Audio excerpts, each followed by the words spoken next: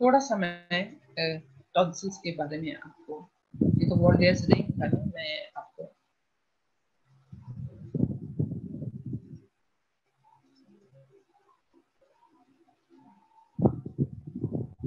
Muscles मैंने आपको बताया था, ये आपने ओरिजिन इंसर्शन मैंने सुपरफिशियली आपको करवा दी थी but I just wanted you to concentrate on that yourself, ये। थोड़ा, this is something जो आपको origin, insertion, nerve supply, action, this is too small, too petty to be discussed. आप सारा साल फ़र्स्ट ईयर में ये करते आए हैं तो मेरे ख्याल में कोई मुश्किल नहीं होनी चाहिए। स्ट्रक्चर्स आपको पता है, वो आपको बता दिए गए हैं कि you know way the standard processes bone पे जो है मार्किंग्स वो आपको पता है, बाकी जो कुछ है आप उसको खुद भी देख सकते हैं। ठीक है? ओके एक तो ये कि ये ओरोफरेंजियल इस्थमस ये opening of the oral cavity into the oropharynx this is called the oropharyngeal isthmus एक second let me have a break for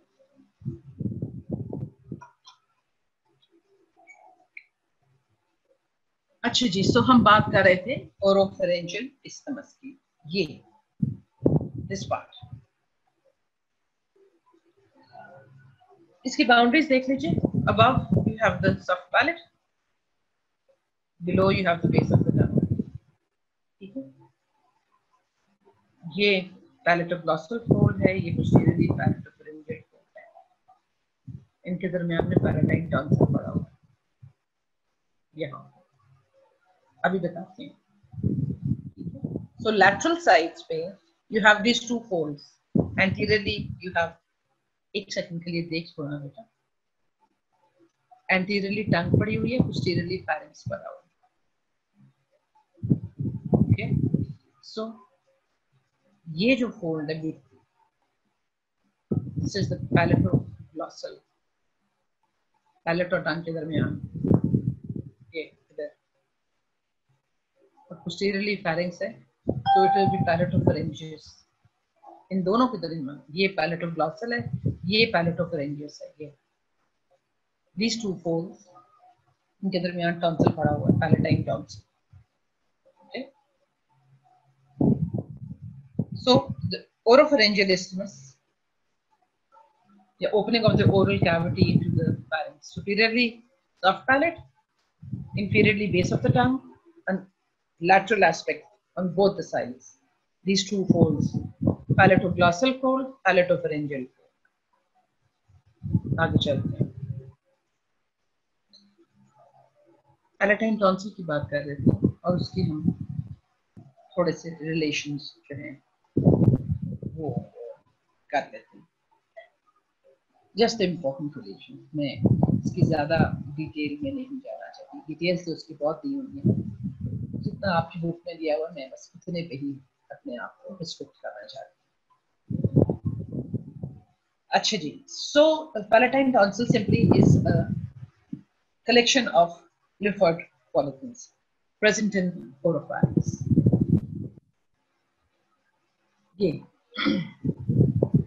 अब ये कहाँ पड़ा हुआ है? Collection of lymphatic tissue where is it line between the two folds जिनके भी हमने बात की है palatoglossal and palatopharyngeal palate से tongue will be palatoglossal और palate ये palate है between the palate and the tongue ये anteriorly will be palatoglossal because the tongue is lying anteriorly. ये पीछे pharyngeal wall पड़ी हुई है. This is the fold between the palate and the posterior pharyngeal wall.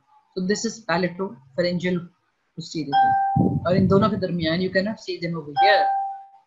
Between these two fold, palatoglossal anteriorly, palatopharyngeal posteriorly. Between these two fold, you have this lymphoid aggregation, which is called palatine tonsil.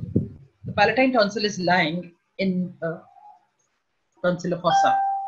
इस tonsillar fossa का दूसरा नाम tonsillar sinus भी है but opposite भी बताया था ये जो आपका palatine tonsil है this does not completely fill the fossa.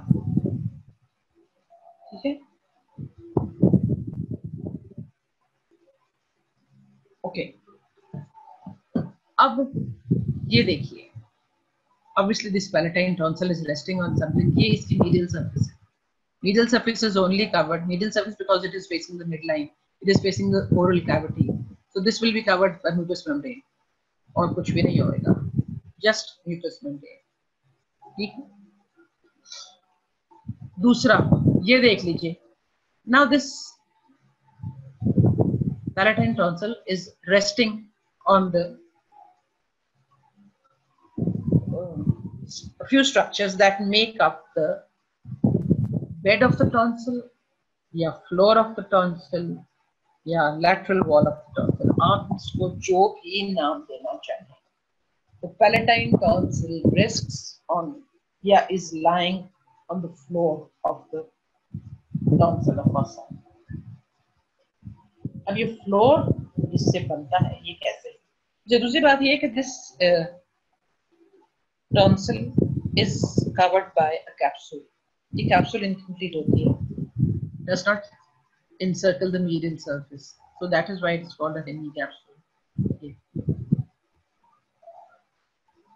Now this is the palatine tonsil. So lateral to the palatine tonsil, the lateral wall of the palatine tonsil या bed या floor of the palatine tonsil.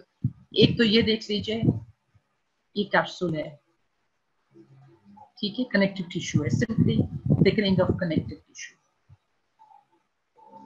ये palette है ठीक है outside the capsule immediately outside the capsule you have this vein this large vein इसको पेरिटॉन्सिलर when भी कहते हैं ये लूज कनेक्टिव टिश्यू में पड़ी होती है peritonsillar vein then outside the peritonsillar vein you have this fascia pharyngobasilar fascia ये वाला between the pharynx and the base of skull. This is the base of skull.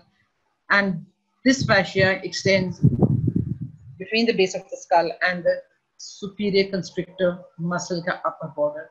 And then from there, it lines the inside of the pharynx. So pharyngobasilar fascia is lying anterior to these muscles of the constrictor muscles of the pharynx on the inside. Yeah. This you can see from the posterior surface. This is the posterior surface of the pharynx. So outside the connective tissue in which you have the peritonsillar vein, outside this connective tissue you have pharyngobasilar fascia And still outside, you have this superior constrictor muscle. Outside this superior constrictor muscle. You have this fascia, which is the buccopharyngeal fascia, meaning ये जो superior constrictor muscle है. On the outside, this muscle is covered by buccopharyngeal fascia. Okay? And still outside, you have these blood vessels. यहाँ पे not only do you have the facial artery जिसकी branches यहाँ पे आ रही हैं, over here, close over here, you also have the internal carotid artery. अच्छा अब हम आ जाते हैं इसकी arterial supply. Very rich arterial supply. That is why it is mandatory that the doctor, the surgeon, ligates all these arteries before he tries to, and the veins, before he tries to remove the tonsil.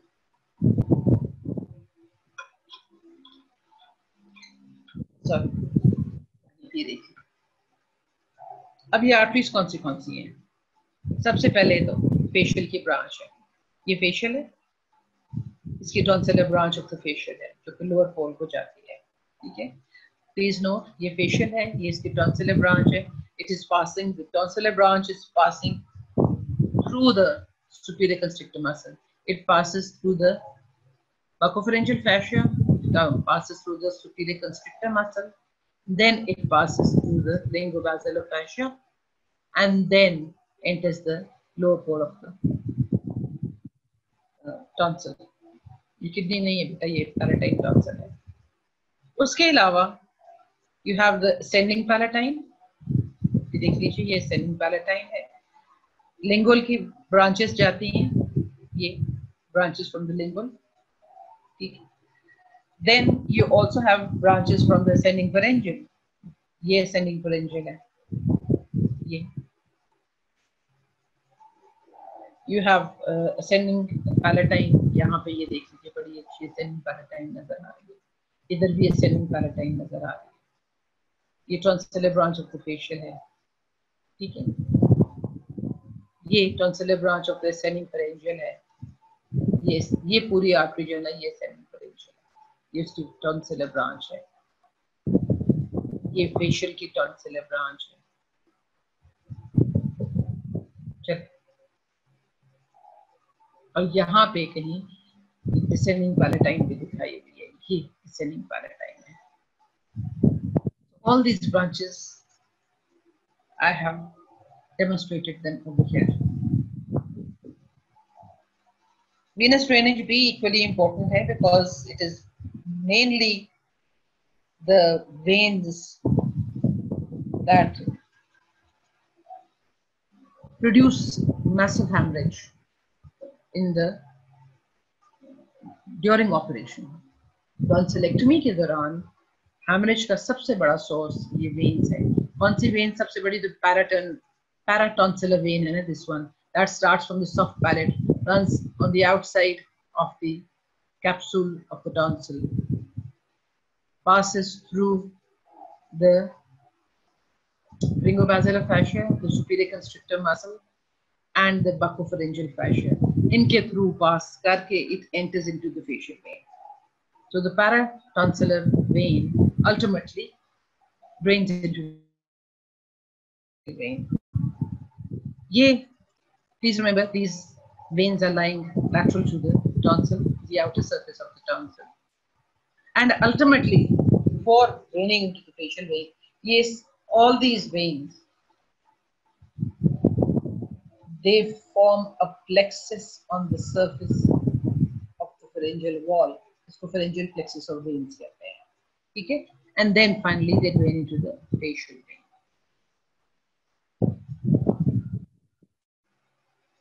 इसका lymphatic drainage important है वो आपको पता है जो blood gastric में जाते हैं और mandible के angle of the mandible lymph nodes at the angle of the mandible uh, cervical होते हैं okay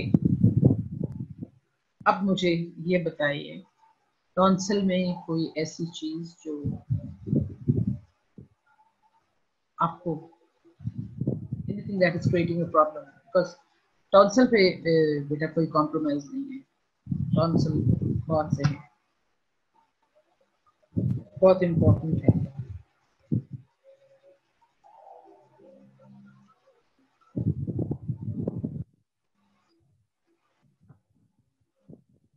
I guess not many people are listening, even though they are setting दिमाग कहीं और है. Never mind. So एक तो ये टॉन्सिल हमने कर लिया. Thank you, Mariam. You have no problem. I'm so happy. अच्छा. दूसरा हमने ट्यूबल टॉन्सिल करना बेटा. जी।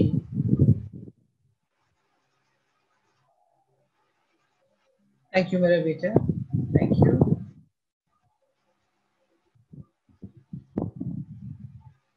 so uh, I wanted to do the tubal tonsil with. अच्छा प्लीज़ इन टॉन्सिल्स की लोकेशन याद रख लीजिएगा। फिर रिपीट करती हूँ। इन टॉक्सन्स की लोकेशन याद रख लीजिए। दिस इज़ द नेजोफेरेंस ठीक है ना? Nasopharynx posterior part of the nose जो है that opens into the nasopharynx ये ये सारा नेजोफेरेंस है। तो द नेजोफेरेंस इज़ ये ये नेजोफेरेंस ये तो नोज़ है ना बेटा? ओपनिंग इनटू द ये यहाँ से नेजोफेरेंस स्टार्ट होता है। यहाँ तक। upper border of soft palate nasopharynx है ठीक so it extends from ये स्फीनोइड बोन है basal part of the basal sphenoid कहते हैं इसमें sphenoidal gas sinus है you already done the sphenoidal gas sinus so this is the body of the sphenoid yeah and this is the posterior wall of the pharynx the nasopharynx और आपको पता है posterior wall of the nasopharynx is made up of superior constrictor muscle now at the junction of the base of the skull, base sphenoid, and posterior wall of the nasopharynx. You have this lymphoid aggregation, which is called pharyngeal tonsil या nasopharyngeal tonsil. हाँ, भी कहना चाहे और please एक बात याद रख लीजिएगा मैं पहले भी बहुत दफ़ा रिपीट की है और ये है बेटा कि this obviously is covered by mucous membrane. Normal, like you and me, a normal tonsil, no inflammation, no enlargement, that is called pharyngeal tonsil, या nasopharyngeal tonsil, आप जो भी कहना चाहें. But if it enlarges, if the pharyngeal tonsil enlarges, it becomes inflamed, it produces, uh, gives problems, that enlarged pharyngeal tonsil is called adenoids so adenoids is simply an enlarged pharyngeal tonsil. A normal size, non-problematic tonsil is simply called pharyngeal tonsil. Enlarge होगा तो adenoid कहते हैं नहीं enlarge होगा फिर इसको adenoid नहीं कहते हैं so एक तो nasopharynx में आपको pharyngeal tonsil मिलेगा and then please note immediately anterior to the pharyngeal tonsil you have the eustachian tube opening of the eustachian tube and surrounding the eustachian tube you have another lymphoid aggregation since tube को surround कर रही है तो ये tubal tonsil होगा so please एक बात याद रख लीजिएगा और ये है in the nasopharynx you have two tonsils in the nasopharynx you have two tonsils you have the pharyngeal tonsil over here and you have the tubal tonsil over here so nasopharynx may you have two tonsils. Okay. Then you have one tonsil over here, tongue ke piche, lingual tonsil. And oral cavity may you have another tonsil okay, between the palatoglossal and palatopharyngeal fold, the palatine tonsil. So oral cavity में palatine tonsil है. Oral cavity में ही you have the lingual tonsil. But there is two tonsils present in nasopharynx and two tonsils present in oropharynx. ये चीज़ clear है? जब उनकी location पूछी जाती है इन टॉन्सल्स की तो सिंपली बस आपने यही लिखना है। Location of the where is the say tubal tonsil located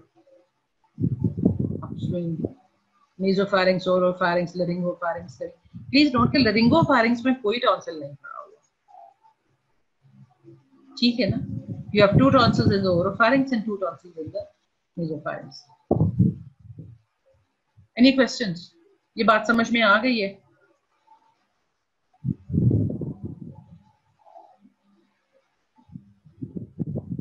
Thank you, Mamuna. Good good thing इसके मेमूना अभी तक जाग रही है गुड अच्छा चले इससे पहले कि मैं आपसे कुछ फर्दर करूँ तो आपने अगर कोई क्वेश्चन पूछना है regarding anything I want to do the pharyngeal recess with you. Any question? किसी से भी related. अपने सब स्टेज से अपने फाइनल स्टेज से एग्ज़ाम से किसी चीज़ से भी related. Any question? Does anybody have any idea when the government plans to open the colleges, schools, whatever? Universities तो रहे हैं for postgraduate universities probably will reopen after Eid. What about the rest? Syllabus बता सबस्टेज sure अभी बता देती हूँ बेटा step by step मुझे just give me a minute to open my phone इसमें है मेरे मैंने तो आपको इसीलिए बेटा कहा था कि somebody get, get in touch with the CR or GR should get in touch with me. You should have my phone number. मैं आपको भेज देती हूँ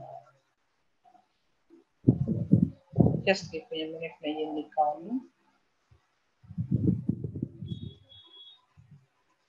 जी बेटा if you want to write down मैं it is nose and first cranial nerve joints of the neck pharynx paranasal sinuses suboccipital triangle and hyoid bone and you have the tongue and 12th cranial nerve salivary glands submandibular and sublingual मैं फिर repeat कर देती हूँ इसमें दो cranial nerves हैं first and last पहली बात तो ये है, भूलना नहीं इस चीज़ को। क्योंकि अब मैं एक एक करके सब क्रेनियल नर्व्स वाइंड अप हो गए हैं। नाइन्थ टेंथ इलेवेंथ है, वो नेक्स्ट सब स्टेज की है एट्थ ले रही है। और सेवेंथ का भी कुछ इंफ्राक्रेनियल पार्ट रहे हैं। मैं फिर सब स्टेज रिपीट कर रही हूँ। Nose and first cranial nerve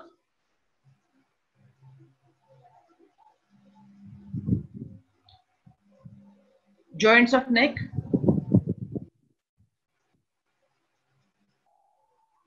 Pharynx.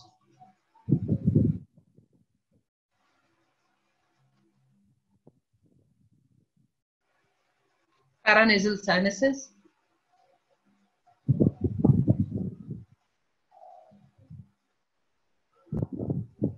Tongue and 12th cranial nerve.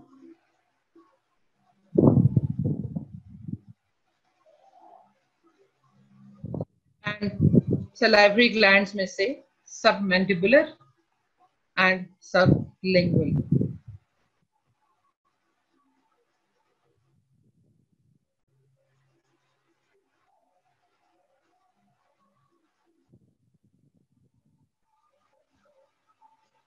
Anything else? ये syllabus clear है?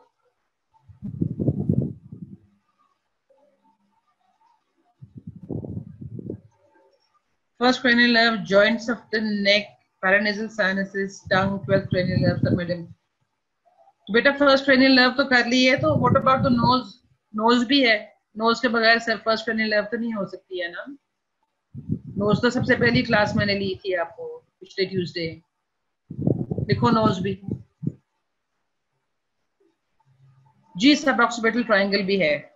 बिल्कुल है सब ऑक्सीपिटल ट्राइंगल मैंने आप लोग को कल तो करवाया सब ऑक्सीपिटल ट्राइंगल तो फिर और मैंने किस लिए करवाना था? अगर कोर्स में नहीं देना था तो। नोज़ भी है, सब ऑक्सीपिटल ट्राइंगल भूलना नहीं है इसको। यहाँ पे आपने लिखा नहीं है ना, मैं इसलिए कह रही हूँ। और बोलो। नोज़ लिखा है?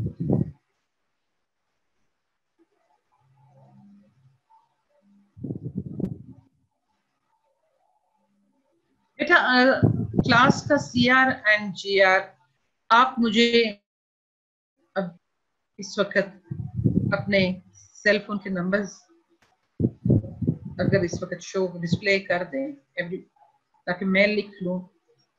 And that will make your life easy मैं आपको ये सिलेबस जो है, जो बनाया होता है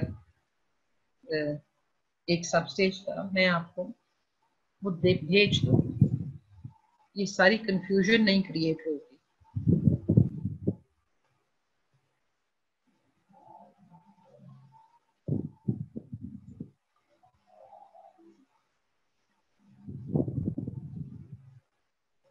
आपको डीएमई की तरफ़ से ये डिस्प्ले नहीं किया जाता syllabus week syllabus nose paranasal sinuses tongue hypoglossal submandibular and sublingual boyard bone नहीं बेटा hyoid bone अभी तक ये नहीं पता अफसोस एज से पढ़ ली सारी हायर्ड बोन और ये नहीं पता कि हायर्ड बोन होता है बेटे ऐसा तो नहीं करते हैं ना suboccipital triangle paranasal sinus suboccipital triangle tongue and hypoglossal nerve submandibular sublingual gland DME से आया है तो बस फिर ठीक है हाँ suboccipital triangle suboccipital triangle का मतलब है कि ये जो मसल्स हैं, इनकी ओरिजिन इंसर्शन मैंने सारी करवाई है। एक्शन नर्व सप्लाई वो मैंने सब आपको करवा दिया है कल। ठीक है? कंटेंट्स ऑफ़ द ट्राइंगल पूरा ट्राइंगल कंप्लीट करना है। ठीक है?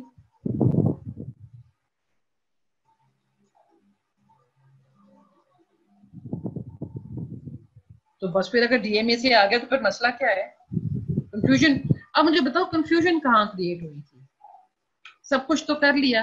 एक टांग रह गई है वो कल इंशाल्लाह हो जाएगी। ट्वेल्थ क्रेनियल लव में आपको करवा चुकी हूँ। फ़र्स्ट क्रेनियल लव में आपको करवा चुकी हूँ।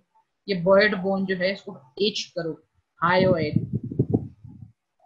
लिखा हुआ भी नहीं पढ़ते हो ना? ये नौकी हो अब बताइए। So where was, where did the confusion arise?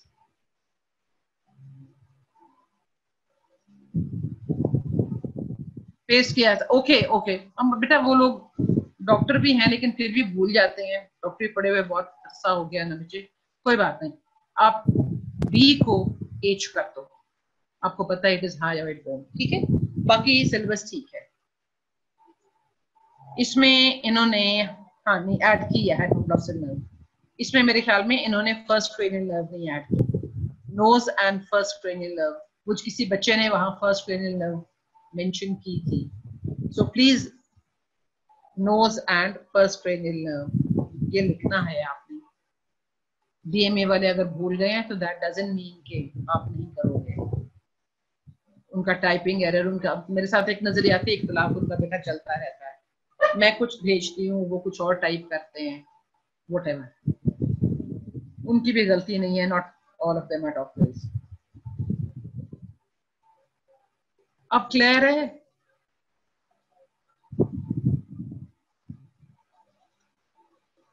Is everything clear please add first cranial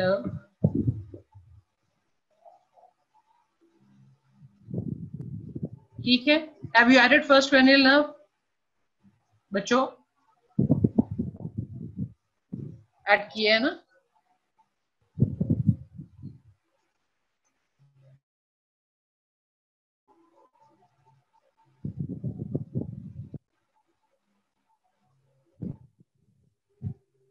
add किए फ़र्स्ट नर्व ऐड कर दिए। मैंने ये नहीं सुना कि डीएमई ने भेजा नहीं था। मैंने खुद पढ़ाया है और खुद मेंशन किया है इसको। So let's forget about DME what about the first training love have you added the first training love to this syllabus ji ma'am good ये ma'am good CR and GR please सारी class को आप ये बताइएगा। कि DME से जो syllabus आया है, उसमें एरर था और इसमें फ़र्स्ट ऐड नहीं हुई थी। वी ऑल ह्यूमंस बेटा, उनका कोई कसूर नहीं उन इतना लोड है। बेतहाशा। ठीक है? So I don't blame them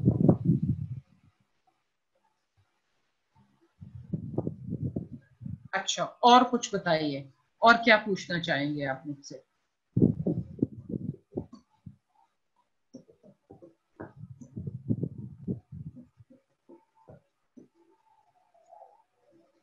what else? What else?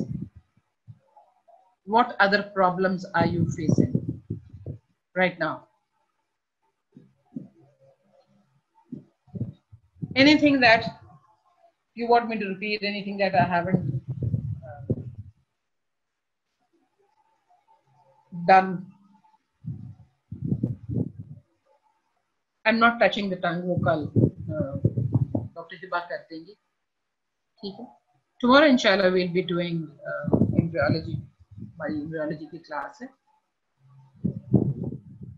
उसके बाद देख लेते हैं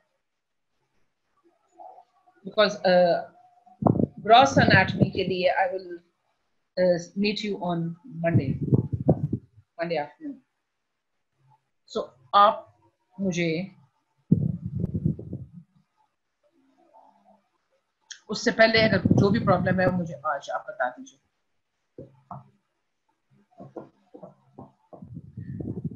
साथ साथ पढ़ते रहे हो? या सब कुछ आज बैठ के पढ़ो, या कल उठे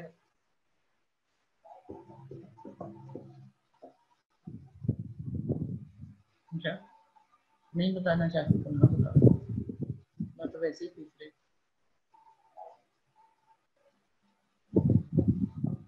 हम फ्रेंजल रिसेस करने लगे।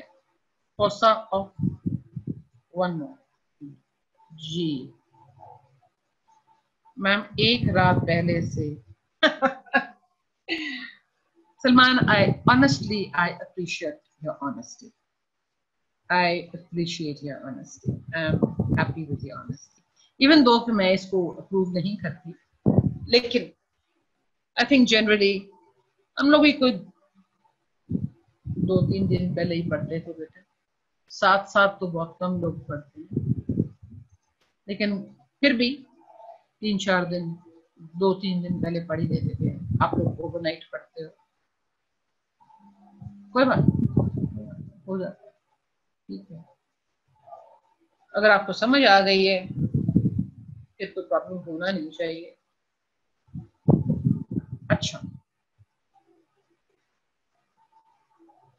सो so, हम इस गैप की बात कर रहे थे और the recess between this fold salpingopharyngeal fold ठीक है यह ट्यूबल टॉन्सल का ये लोअर एंड है fold of mucous membrane raised by salpingopharyngeus muscle ये muscle है इसको salpingopharyngeus कहते हैं the purpose of this muscle is when it contracts it opens the eustachian tube इस salpingopharyngeus muscle के ऊपर जो mucous membrane है that makes up a fold which is called salpingopharyngeus fold okay so posterior to this salpingopharyngeal fold you have this gap between the posterior wall of the pharynx and salpingopharyngeal wall. इन दोनों के दरमियान ये जो gap है ना this gap is called pharyngeal recess या fossa of Rosenmuller. Okay.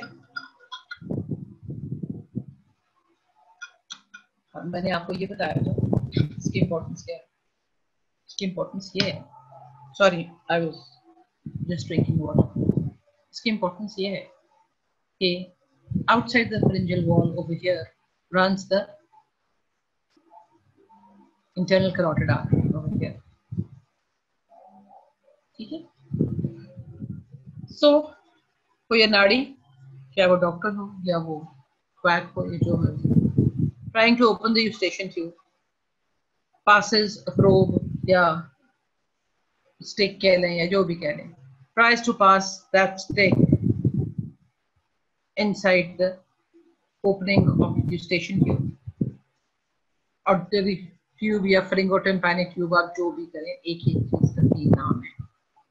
So So यहाँ पास करने की कोशिश की, यहाँ पास नहीं हुआ, स्लिप करके पीछे चला गया यहाँ पे इस फ्रेंजल रिसेस में जरा ज़ोर से किया हुआ था यंग आदमी था ना आपकी तरह थोड़ा ज़्यादा ज़ोर लग गया अब ये जो फ्रेंजल रिसेस है simply formed by mucous membrane from the salpingopharyngeal fold going on to the posterior wall of the pharynx. So इस mucous membrane को lying in the pharyngeal recess इस mucous membrane को फाड़ता हुआ बाहर निकल गया और बाहर इंटरनल carotid artery पड़ी हुई थी बस ये इसकी इंपॉर्टेंस है उसके बाद क्या होगा आपको भी पता है मैं मुझे भी पता है इंटरनल कैरोटिड आर्टरी जब फट जाती है फिर क्या होता है अल्लाह ही रहम करता है टॉन्सिल की बात कर लेती हूँ। टॉन्सिल हमने कर लिया था पैराटाइन टॉन्सिल। ठीक है? लिंगुअल टॉन्सिल आपको हिबा करवा देंगे। इसमें जो मैंने आपको करवाना है is something very important तो ये है। मैं सारे फॉसे वगैरह जो है ना मसल्स आप लोग खुद करोगे। Muscles have nothing to do with me ठीक है? इससे पहले के sorry mouth goes dry actually बोल के I've been talking non-stop for the past one and a half hour after all I'm human okay 125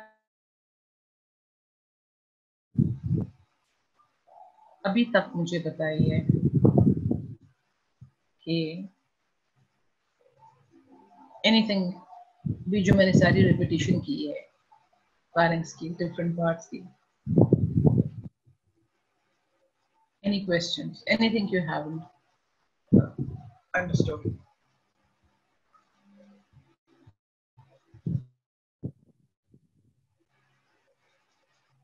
कोई बात रिपीट करने वाली देर तो नहीं।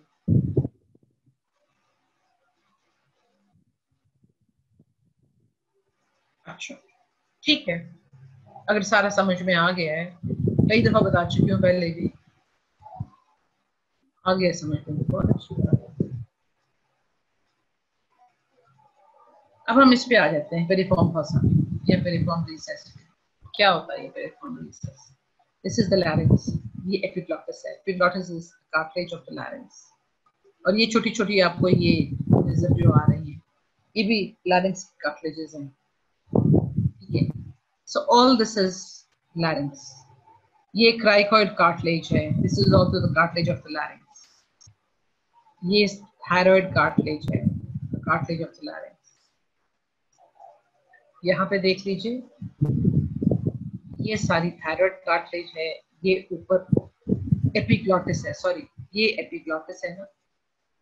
और ये जो नीचे है, ये क्राइकॉइड कार्टिलेज है. क्राइकॉइड कार्टिलेज ये थायराइड कार्टिलेज है. ये दिस इज़ द एपिग्लॉटिस ठीक है? यहाँ पे बता देती हूँ. ये क्राइकॉइड कार्टिलेज इसका broad posteriorly. This is a picture taken from the posterior aspect. Okay ये एपिग्लॉटिस है. ये छोटी छोटी कार्टेजेस यहाँ पे ये पड़ी हुई है. ये भी लैरिंग्स की कार्टेजेस है. Okay okay? अच्छा अब ये जो है ना लैरिंग्स का इनलेट है this is where the air goes inside this is the inlet of the larynx ये posterior surface of the tongue है. तो पोस्टीरियर वन थर्ड का टंग ये बेस ऑफ़ द टंग है. ओके ये सारा. सब आप खुद देख लीजिए कि फ़ूड यहाँ पे ये टांग है posterior surface of the ये यूवोला नज़र आ रहा है Now food from the posterior surface, from the tongue, slips over this epiglottis. Food, when it passes over the epiglottis, the epiglottis today, this comes down and shuts the laryngeal opening. And the food then slips down into this part. ये सारी जो है walls of the pharynx है phalangeal wall है ठीक है ये open किया हुआ है इन फ्रेंजल वॉल को मिड लाइन में से काट के सेपरेट आउट किया हुआ है so this is the pharynx so this part would be the laryngopharynx since it is around the larynx ये जो walls है this will surround this part so ये oropharynx का ठीक है, ये फ़ूड का मैकेनिज्म तो आप लोगों ने फिजियोलॉजी में भी पढ़ लेना है। अभी किया नहीं, लेकिन कर लोगे। एफ़ में तो यकीन किया ही होगा। यहाँ पे मैं एक चीज़ आपको और दिखाना चाहती हूँ, जो it is not really visible और वो ये है this is the hyoid bone और ये सारी जो है ना दिस ये कार्टलेज ये थायराइड कार्टलेज है। ये आपको उसके दो हॉर्न्स नज़र आ रहे हैं थायराइड कार्टिलेज ये इसकी and the two sides joined together in the midline आपने वो देखा ही हुआ। ये जो prominence लड़कों में particularly, जो neck में नज़र आती है, Adam's apple कहते हैं इसको। that is produced by the fusion of the two sides of the thyroid cartilage that produces anteriorly जो fusion होती है that is called Adam's apple so ये thyroid bone है बेटा this is the thyroid cartilage and ये जो fibers नजर आ रहे हैं extending between the hyoid bone and the thyroid cartilage this membrane is thyro hyoid membrane okay अभी जो epiglottis है this is covered by mucous membrane और ये आपको बताया ये these are the small cartilages of the larynx ये large cartilage है these the small cartilages of the larynx so what happens is a this fold there's a fold of mucous membrane that connects the epiglottis to this arytenoid cartilage arytenoid cartilage ये जो छोटी सी cartilages है ना इनमें से एक है ठीक है cricoid sorry arytenoid corniculate cuneiform इस तरह पड़ी हुई So between the epiglottis and the arytenoid cartilage, you have this fold of mucous membrane, which is called epiglottic तो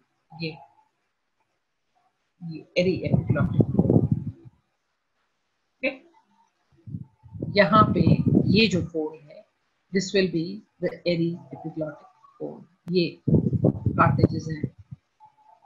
Small cartilages of the larynx okay अब आपको जो बताना है, वो फिर कौन कौन सा है। इसमें आपको आधा लैरिंग्स पढ़ा चुके हैं। में। बेटा the piriform fossa is this depression lying between the larynx and the ये जो है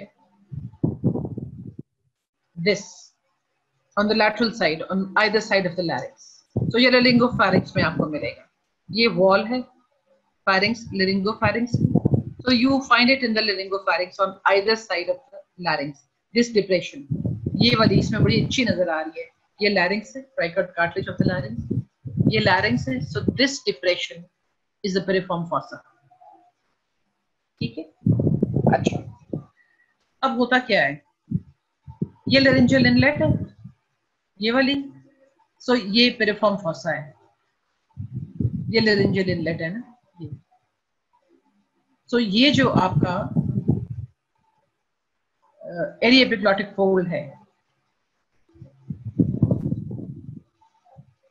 this is forming the medial boundary of the piriform fossa ये पेरिफॉर्म फॉसा के मीडियली एरी एपिग्लॉटिक फोल्ड पड़ा हुआ है इनफैक्ट ये फोल्ड जो है ये इस फॉसा को सेपरेट कर रहा है इस रिंजल इनलेट से लैटरली क्या पड़ा हुआ है so, ये इस ये फंसा है यहाँ पे medially you have eri epiglottic fold.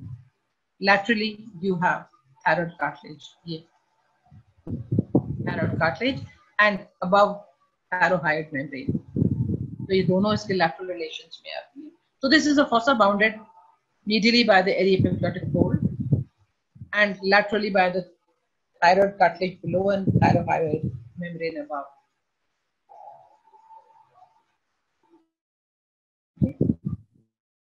important thing to remember is that this is all covered by mucous membrane. You can appreciate that. And deep to the mucous membrane, you have the internal laryngeal nerve. This internal laryngeal nerve is a branch of superior laryngeal nerve, which is a branch of vagus nerve. Okay. अच्छा अब इसकी importance क्या है इसकी importance ये है कि during eating any crumb or any small piece of food or anything may go and get stuck over here यहाँ जाके फंस जाता है ये यहाँ चला भी जाता है ना भी फंसे चला जाता है as soon as it goes there in this fossa piriform fossa this food particle stimulates the internal laryngeal nerve which is lying immediately deep to the mucous membrane when this internal laryngeal nerve is stimulated, तो reflex coughing start हो जाती है so आपने बहुत दफ़ा note किया होगा खाते हुए एकदम खांसी आ जाती है, वो खांसी इसलिए आती है एक food particles go and get lodged ठीक है, यहाँ फ़ूड पार्टिकल्स आ गए। अब आगे क्या होगा? आगे ये होता है कि एट टाइम्स बच्चे they are not careful they may swallow fish bone और कोई भी चिकन की बोन या एनीथिंग या even food particle large food particle that fails to dislodge अब वो जब produces damage to the internal laryngeal nerve जब internal laryngeal nerve damage हो जाएगी तो you will have sensory loss over this area sensory loss का मतलब ये कि now if anything goes and gets lodged over here there is going to be no coughing ये internal laryngeal nerve intact nerve थी that was producing a bout of cough whenever any food particle came and get uh, came and sat over here ठीक है अब otherwise वैसे तो कोई problem नहीं नहीं खांसी आती ना सही but the problem is if food particle is sitting over here, it may slip into this opening of the larynx, laryngeal inlet.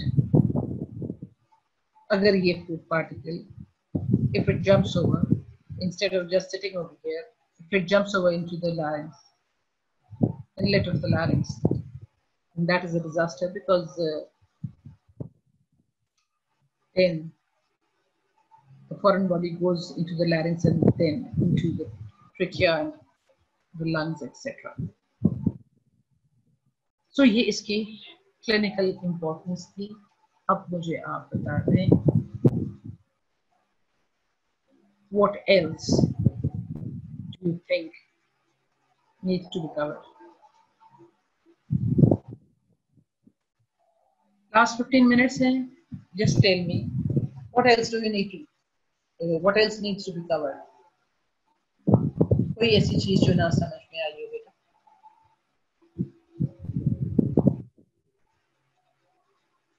कोई ऐसी चीज़ जो नहीं आई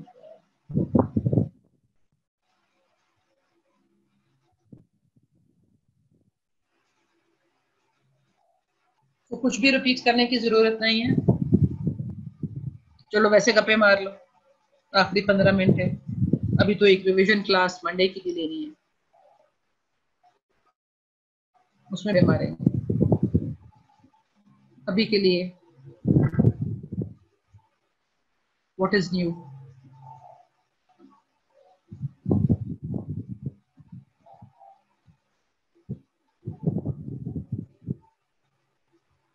समझ आ गया थैंक यू थैंक यू बेटा फिर मुझे ये बता दो आज अगर समझ आ गया है then why do you do so badly in your MCQs and even your SCQs?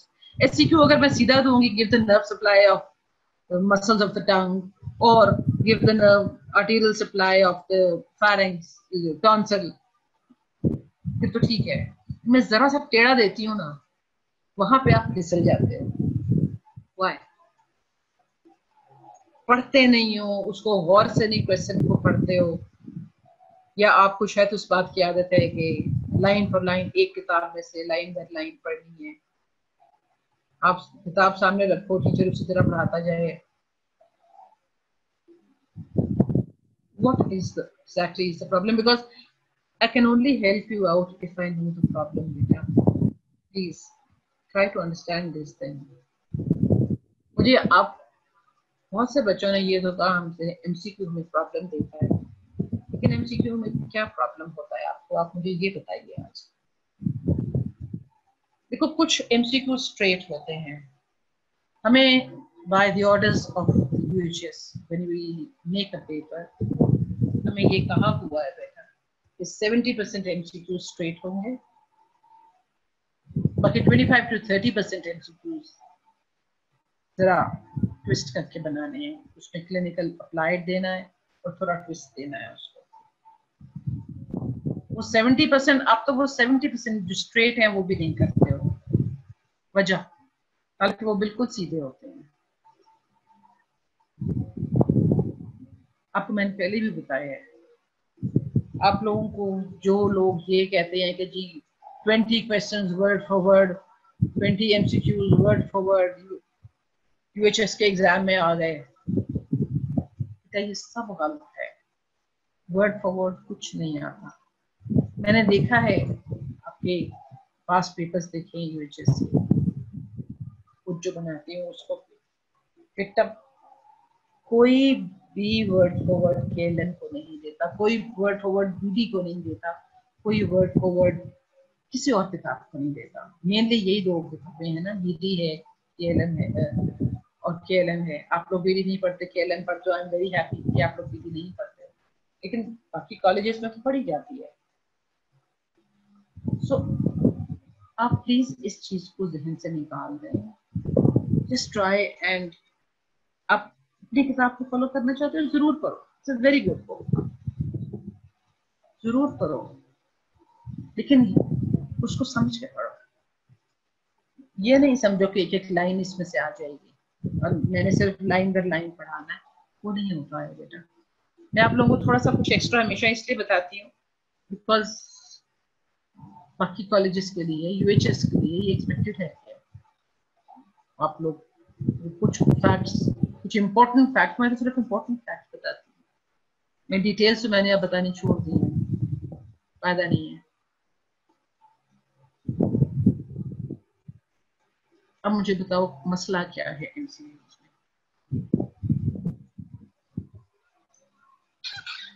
How can we help you out with the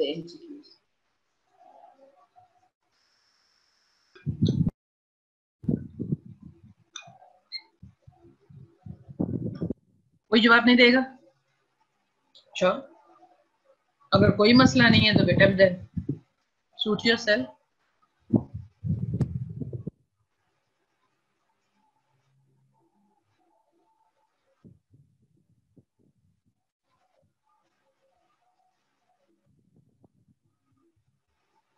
चलो, ठीक है। सब कुछ समझ में आ गया है और कोई और चीज़ भी नहीं है। तो तो बहुत अच्छा है। दो बजे दस मिनट रह गए। We'll sit for another five minutes and then we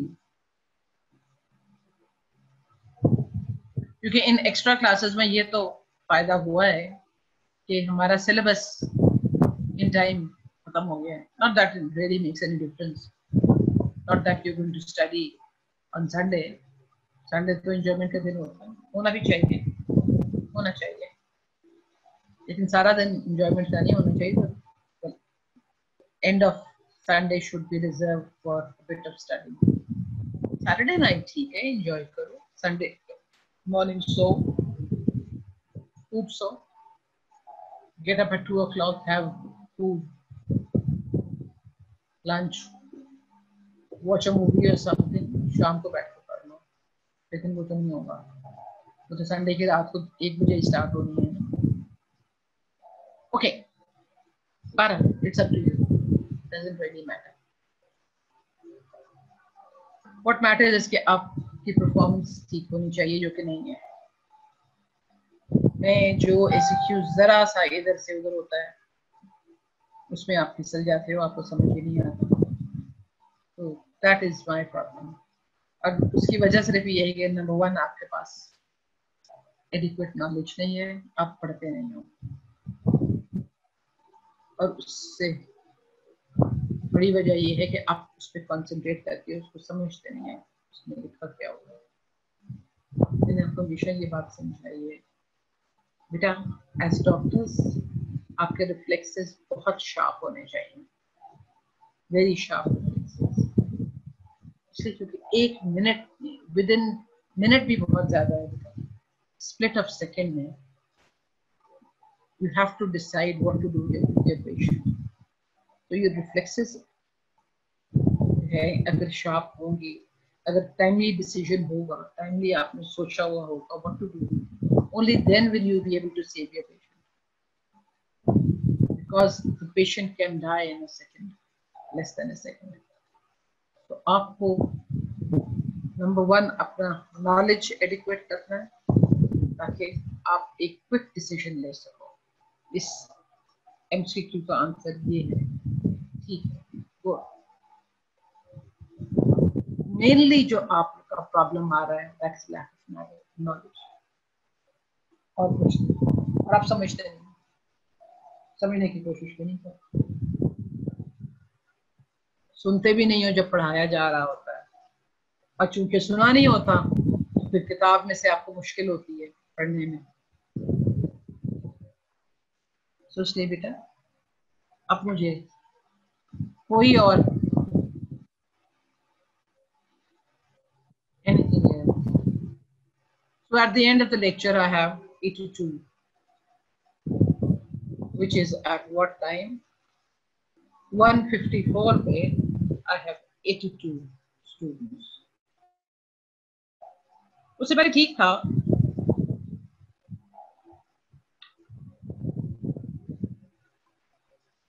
लेकिन अब जो है it is going from bad to worse पर अब टाइम भी नहीं रहा, दो बजने वाले हैं। I guess you guys want to go and have your lunch ये चीज़ याद रख लेना ये बहुत इंपॉर्टेंट है। Fascias जो हैं वेरी इंपॉर्टेंट तो इसको आप ध्यान में रख लीजिएगा। ये डायग्राम जो है। ये कट सेक्शन जो बनाया हुआ है दिस इज़ हैंडमेड इसको आप कॉपी आउट कर लें बिकॉज़ यही आपका क्वेश्चन है बिकॉज़ सब क्वेश्चंस इवन यूएचएस में स्ट्रेट फॉरवर्ड नहीं होते, थोड़े से आपके जो है कंसेप्शन भी होते हैं। तो रिटर्न एग्ज़ाम आपको अपने जोरे बाजू पे पास करना होगा ये आपको पता है। वाइवा तो हम आपको करवा देते हैं। लेकिन return exam you have to prepare yourself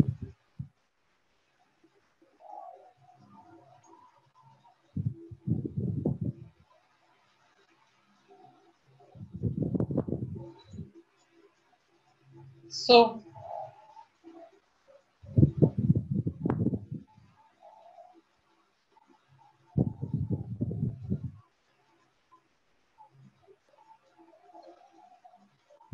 कोई क्वेश्चन सब कुछ समझ तो आ गया है, लेकिन चलिए ठीक है, अगर आगे समझ तो क्या हो सकता है? बात ही है कि अगर आज समझ में आ गया घर जाके इसी वक्त पढ़ लेते, पाँच मिनट में सब कुछ खत्म हो जाता। अब जब एक रात पहले खैर से पढ़ेंगे तो फिर प्रॉब्लम होगा।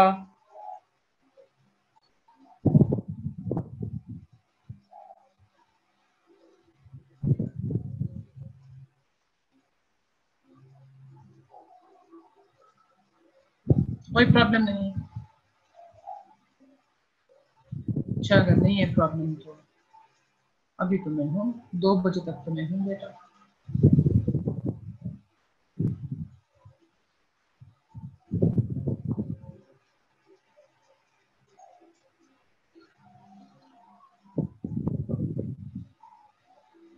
You have a final stage coming up by the, after the, the Eid holidays. Eid kind of खराब हो गई होगी। मगर आपने तो एक रात पहले पढ़ना चाहिए, अच्छी बात है। दो रातें पहले पढ़ लेना ना। फाइनल स्टेज जो है तो थोड़ा सा ज़्यादा इज़्ज़त दे दो। दो रातें पहले पढ़ लेना। उसके बाद स्ट्रेट हुए हम इंशाल्लाह न्यूरोनेटमी कर लेंगे। आप लोगों ने न्यूरोफिजियोलॉजी तो पढ़ ली है। कीपिंग दैट इन माइंड मैं आपको एम्ब्रियोलॉजी नर्वस सिस्टम की एंटीबायोटिक ठीक है? सो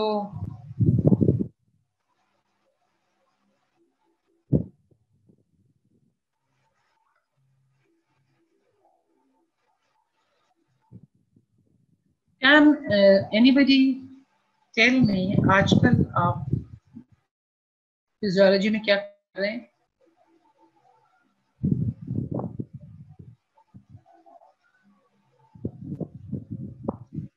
स्पेशल सेंसेस फिजियोलॉजी में? ओके स्पेशल सेंसेस में क्या कर रहे हो? आई कर रहे हो कि एयर कर रहे हो? आई कर रहे हैं. ओके बिकॉज़ जब मैंने डेवलपमेंट की थी तो व्हाट अबाउट अच्छा एयर अभी नहीं किया. फाइन फाइन और न्यूरोफिजियोलॉजी सारी खत्म हो गई? nervous system physiology of nervous system have you finished that up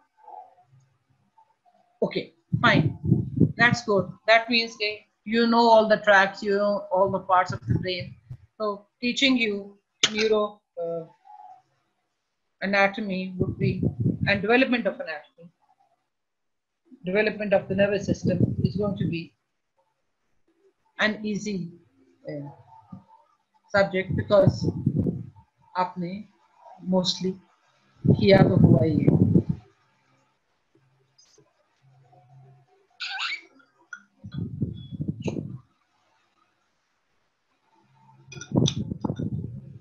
तो मतलब जाग रहे हो, डांट भी मेरी सुन रहे हो but you don't know what to say मैंने तो कहा था, मुझे बता दो मसला आपके उसमें जो भी आता है, आपके एंड पे।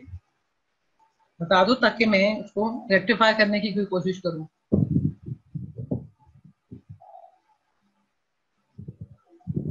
लेक्चर समझ में आता है? ग्रॉस एनाटमी के या न्यूरो एम्ब्रियोलॉजी की? अच्छा आता है। बड़ा प्रॉम्प्ट जो आ गया। उसका मतलब है वाकई आता है। I take the credit for it मुझे आता है। बाकी थोड़ा सा क्रेडिट आपको भी दूँगी, आप समझ ले, सुनते हो। That's good that's very good I am चलो।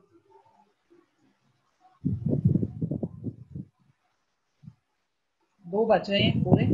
सो खुदा हाफिज till tomorrow morning I will see you again 10 o'clock tomorrow morning. ठीक है जी? खुदा हाफिज गॉड ब्लेस यू ऑल खुदा